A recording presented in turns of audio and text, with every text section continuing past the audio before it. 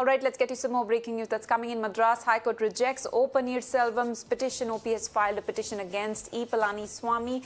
In fact, uh, the plea objected to AIADMK interim chief's appointment.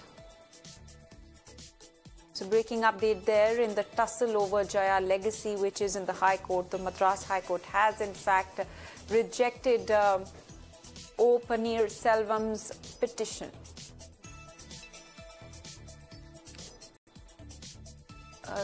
So a setback for o- O. Selvam. Uh, the Madras High Court has rejected O. Selvam's petition.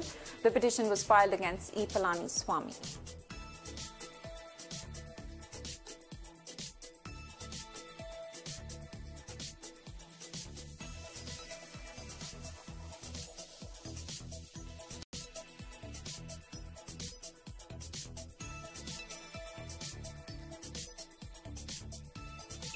Right, the breaking update there, a big setback there for Opalani Palaniswami. The Madras High Court has, uh, in fact, uh, rejected O. Selvam's uh, petition. The petition was filed against E. Palaniswami.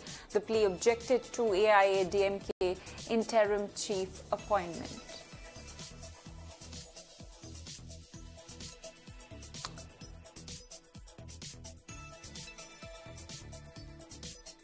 So Madras High Court has rejected OPS's petition. In fact, the petition was filed against E. Palani Swamy as uh, AIDA, AIADMK interim chief. So setback there for OPS.